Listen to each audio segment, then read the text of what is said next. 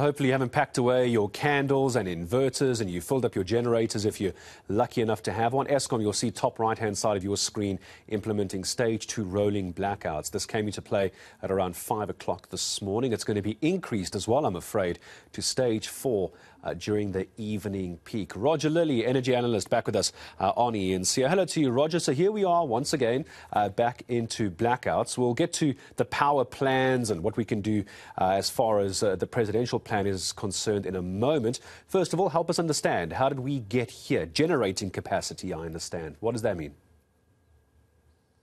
Good morning. Uh, yeah, Gareth, thank you for inviting me to your show this morning.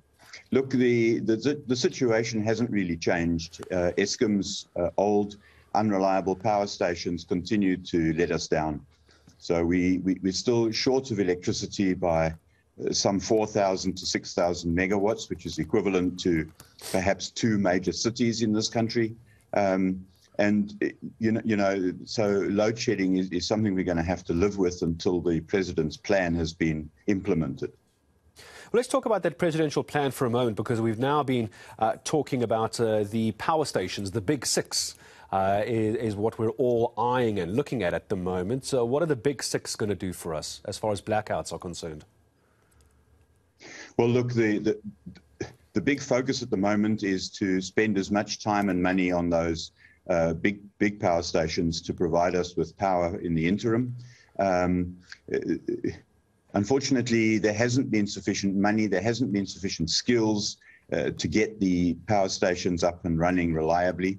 Um, one of the implementations uh, that the president has suggested is giving uh, Eskom freedom to buy spare parts directly from the manufacturers of the equipment instead of via local agents, which have added not just cost but also caused delays uh, through a procurement system. So you, you, know, we're hoping that uh, those power stations become a little bit more uh, reliable, a little bit more dependable, and therefore provide us with sufficient power to at least keep the loads uh, shedding stages to low numbers. In the interim, of course, new generation is desperately needed, and fortunately, that's where the private sector is able to come on board and provide power more quickly than than, than uh, building a new coal-fired power station would be. Yeah, quite right. The IPPs has been a big talking point. Those power stations, by the way, uh, Roger, correct me if I'm wrong on this, Kendal, Majuba, Tutuka, Kusile, Duvha, uh, and Matla, the big six that we're talking about at the moment. So on IPPs then, part of the presidential power plan, uh, again, everyone wants to know it's all good and well for us to throw around megawatts that are missing, missing and coming back online and maintenance. As far as IPPs and government buying back and Eskom buying back from IPPs, how quickly could that at least get uh, us to lower levels of blackouts, if not completely? Well, what we've seen historically, uh, ever since 2014, when the uh, Independent Power Producer Program began, um, we've seen that uh, a, a, new wind or solar farm takes approximately 24 months to build from the time uh, that it's been approved by government. So, uh, you know, we, we, we've, we've already got some 5,000 megawatts from IPPs available. There's another 2,000 in the pipeline right now. And from the president's announcement, another 5,200 will be coming in bid window six. So uh, we, we're really looking towards the middle, perhaps, of 2025 uh, to see uh, load shedding to be something of the past. Uh, when it comes to the maintenance uh, and uh, the regeneration of these big six uh, power stations, it's all good and well to have the permission, essentially, from government to go and buy directly from the manufacturers. Do we, or do you get the sense, Roger, that we've got the skills in this country, not a, not only a, to get them up and running, but then to maintain them? Because that's been the issue over the years as well. Is the maintenance of them long term after they are repaired up to the standards they should be? Well, look, we know that there was uh, a, a, large uh, loss of skilled personnel from Eskom over the years. Um, and unfortunately, some of those people who were re who replaced the skilled personnel have not had the experience or necessary training uh, to come up to speed quickly enough. So we definitely have a have a shortage there, and we know that the, the president alluded to that by suggesting that Eskom call back some of, of, of the previous uh, employees uh, to come and assist in this regard. how well that will be received and how many of those ex employees will actually be available to join the team is yet to be seen. Would it be fair? Tell me what you make of this comment if I was to uh, put this uh, to you. Politics, it's not the technology, it's politics that's holding us back from getting out of load shedding and blackouts with, uh, within two years. Is that fair? Yes, there's too much political interference, in my opinion. Um, this is part of the problem because Eskom is a state owned entity and is therefore uh, managed by politicians instead of by technocrats. I think that's part of the problem. I think if Eskom was a private entity, uh, it would be run very differently with different agendas. Um, we've seen lots of meddling. We've seen appointments of unsuitable people in senior positions simply because of political interference over the years.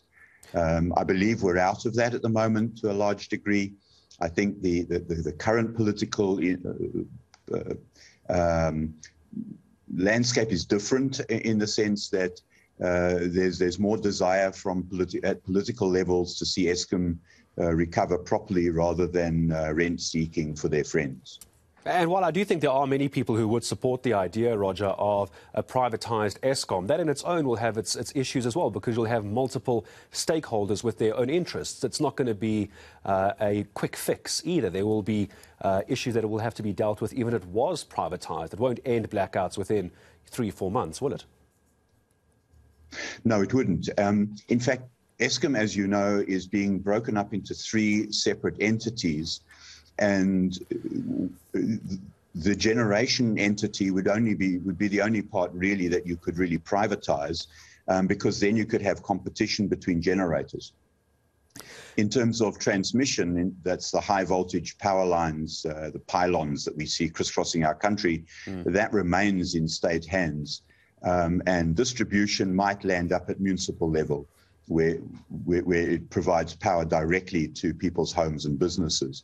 But at generation level, where you can have both government and private companies generating electricity into a state owned grid uh, and then distributed through a municipal uh, distribution system, I think would make things a lot more efficient uh, and certainly would get away from some of the political interference that has uh, dogged the, the, the, the, Electricity Commission for so long. Mm, certainly for far too long now, many people would say. Roger, uh, just before I say goodbye to you, can we just come back to the blackouts, the stages at the moment? Uh, because I know there's yes. forecast models and there's uh, data that someone like you could look at. Uh, we're hearing three days of this load shedding, stage two, stage four.